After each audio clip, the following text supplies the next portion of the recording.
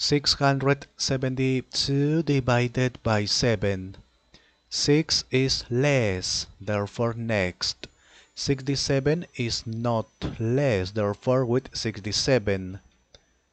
7 multiplied by which number is nearest to 67 but not greater 7 multiplied by 9 63 okay is not greater.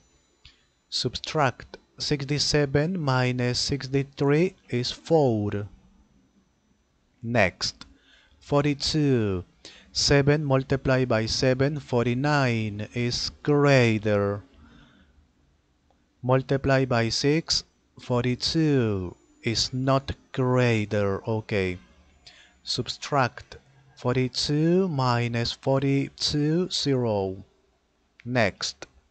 There is not number therefore finish it.